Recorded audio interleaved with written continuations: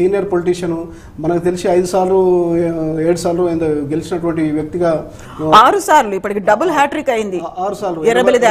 రావు గారు అనేటటువంటి అంటే ఆరు సార్లు ఉన్నటువంటి వ్యక్తిని ఈ రోజు ఓడిపోయేటటువంటి విధంగా అనేటటువంటిది ఇప్పుడు మనకు చూస్తా ఉన్నాం. అంటే అక్కడ ఉమ్మడి వరంగల్ ఉమ్మడి నల్గొండ ఉమ్మడి ఖమ్మం. ఇక్కడ కాంగ్రెస్ వేవ్ అనేది ఖచ్చితంగా పోల్స్ ఎక్స్పెక్ట్ చేసాయి పార్టీ వాళ్ళు కూడా ఎక్స్పెక్ట్ చేశారు.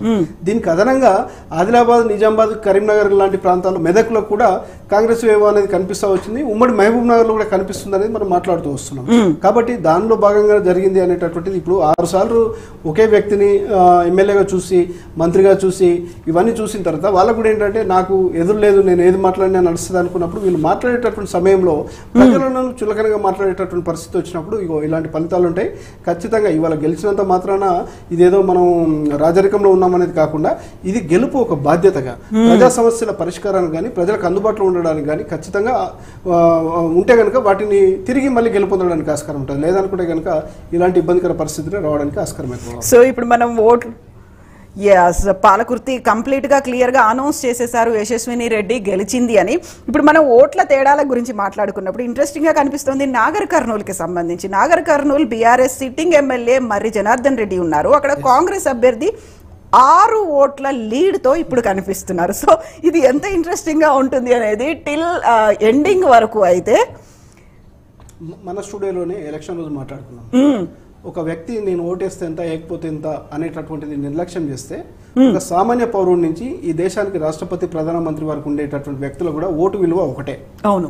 ఎవరికైనా ఒకటే. ఒకరు వేస్తే వంద ఓట్లు ఒకరు వేస్తే ఒక్క ఓటు కాదు. ఎగ్జాక్ట్లీ అంటే ప్రతి వ్యక్తికి పేదరికంలో ఉన్న మహిళ అయినా పురుషుడైనా ఉన్నవాడైనా లేనివాడైనా అందరికీ సమాన హక్కు అనేటటువంటి ఓటే కాబట్టి ఈ ఆరు ఓట్లు అనేటువంటి ఇప్పుడు లక్షలాది ఓట్లు ఉన్నటువంటి దగ్గర ఆరు పది వంద ఓట్లతోటి గెలుపోవడంలో ప్రభావితం చేసేటటువంటిది అంటే ఓటు విలువ ఎంత అనేది చూడ ఇప్పుడు ఎక్కడో కూర్చొని అయ్యో మేము వెళ్ళి వేస్తే పది ఓట్లు వేస్తే మా కుటుంబంలో అందరం పోయి వేస్తే గెలుస్తుండే కదా. మ్మ్, అప్పుడు తర్వాత మనం ఫీల్ అవుతాం. మనం తల గోడ కొట్టుకున్నా రోడ్డు మీద వేసి కొట్టుకున్నా ఉపయోగం లేదు. అంటే ప్రతి ఓటు పోల్ మేనేజ్మెంట్లో ఈ ఓటు విలువ ఎంత అనేది ఇది ఫైనల్ అయిపోయిందని నేనేం చెప్పట్లేదు. ఓటుకు ఉన్నటువంటి ప్రాధాన్యత గురించి మీ దృష్టికి తెస్తాను సో ఇక్కడ కీలకమైనటువంటి కాంగ్రెస్ సీనియర్లు హుజూర్ నగర్లో రేవంత్ రెడ్డి అలాగే నల్గొండలో కోమటిరెడ్డి వెంకటరెడ్డి కోడంగల్లో రేవంత్ రెడ్డి. ఇక్కడ కీలకంగా కనిపిస్తున్నారు ఆ ముగ్గురు లీడర్స్ గెలుపొందినట్టుగా సమాచారం అందుతోంది. కొడంగల్లో రేవంత్ రెడ్డికి ముప్పై రెండు వేలకు పైగా ఓట్ల మెజారిటీ వచ్చింది. ముప్పై రెండు వేల ఎనిమిది వందల ఓట్ల మెజారిటీతో కొడంగల్లో రేవంత్ రెడ్డి గెలుపొందారు. ఇక ఓవరాల్గా బీజేపీ అయితే చాలా ఇంట్రెస్టింగ్ కనిపిస్తుంది. ఎంఐఎం ముందు నుంచి ఫిక్స్ అయిపోయాయి. ఏడు స్థానాలు ఎంఐఎం ఓల్డ్ సిటీలో గెలుచుకుంటుందని. ఈసారి జూబ్లీ హిల్స్ అండ్ రాజేంద్రనగర్లో కూడా ఎంఐఎం పోటీ పడింది. ఓవరాల్గా తొమ్మిది స్థానాల్లో ఎంఐఎం పోటీ పడితే ఇప్పటికైతే ఎంఐఎం ఒక స్థానాన్ని చార్మినార్లో గెలుపొందింది. ఐదు స్థానాల్లో లీడింగ్లో ఉంది. అది నాంపల్లికి సంబంధించి ఎఫెక్ట్ పడుతుందా? లేకపోతే యాకత్పురాలో ఎఫెక్ట్ పడుతుందా? దీంతో పాటుగా బీజేపీకి సంబంధించి ఎవరైతే చాలా కీలకమైనటువంటి లీడర్లు సీనియర్లు సిట్టింగ్ ఎమ్మెల్యేలు వీళ్ళు గెలుస్తారు వీరు బరిలో ఉన్నారు అనుకుంటే వాళ్ళు ఓడిపోయే దిశగా కనిపిస్తున్నారు. దుబ్బాక అయితే రఘునందన్ రావు ఓడిపోయారు. బట్ కొత్త నేమ్స్ కనిపిస్తున్నాయి. అటు మహేశ్వర్ రెడ్డి కావచ్చు మిగతా లీడర్లు అనేది ఈ ట్రెండ్ని ఎలా చూడొచ్చు అంటారు? అంటే ఇది ఒక నోటిఫికేషన్ వచ్చాక సీట్ ఇచ్చాక బీఫామ్ ఇచ్చాక నేను ప్రజలకు వెళ్తానంటే ఇట్లాగే ఉంటుంది. వాళ్ళు టూ త్రీ ఇయర్స్ నుంచి గ్రౌండ్ వర్క్ చేసుకున్నటువంటిది ఇవాళ కామారెడ్డిలో మనం తీసుకుంటే కనుక ఒకవేళ కేసీఆర్ గారు అక్కడికి వెళ్ళకపోయినా అక్కడ కేసీఆర్ గారు వెళ్ళినప్పుడు ఎట్టి పరిస్థితులు రేవంత్ రెడ్డి గారు వెళ్ళరు. ఆ ఇద్దరు వెళ్ళినప్పుడు అక్కడ బీజేపీ సీట్ కాదు ఉన్నటువంటి. అవును.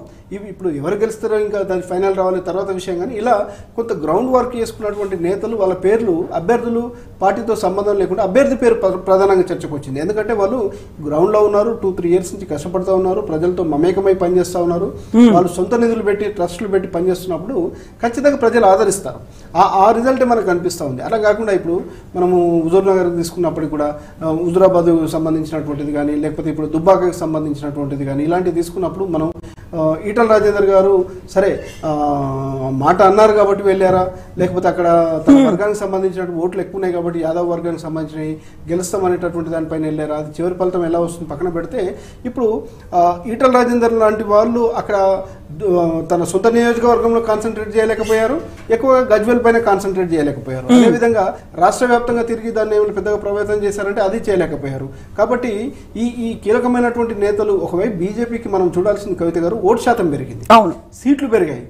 కానీ ఆ చట్టసభలో ప్రధానమైనటువంటి వక్తలుగా ఉన్నటువంటి వాళ్ళు ప్రజాదరణ ఉన్నటువంటి వాళ్ళు ఓడిపోయారు. అవును. అంటే ఇక్కడ ఇప్పటిదాకా ఫేసెస్ కనిపించాయి వాళ్ళు పోరాటాలు చేశారనేది ఉంది. కాబట్టి మనం ఇక్కడ ఏంటంటే మీడియాలో చట్టసభలో మాట్లాడమే కాదు నియోజకవర్గాల్లో కూడా అందుబాటులో ఉండాలి ప్రజలతో మమేకమై పనిచేయాలనేటటువంటిది ఇక్కడ కనిపిస్తున్నట్టు Exactly. ఇది ఒక ఈ బీజేపీ సభ్యులకు సంబంధించి కాదు. గతంలో కాంగ్రెస్లో కూడా కీలకమైన నేతలు ఉన్నటువంటి వాళ్ళు ఓడిపోయారు. మ్మ్. ఈ ఇప్పుడు మనం ఈ రోజు మనం తీసుకుంటా ఉంటే గెలుపొందినటువంటి వాళ్ళలో దామోదర రాజు నరసింహ గారు డిప్యూటీ సీఎం గా ఉన్నారు. సీఎం గా ఉన్నారు. ఆ వర్గానికి పెద్ద నేతగా అండ్ కీలకమైనటువంటి తెలంగాణ రాష్ట్రం ఏర్పడిన దగ్గర నుంచి ఆయన గెలవలేదు. ఈసారి గెలిచారు థర్డ్ టైం గెలిచారు.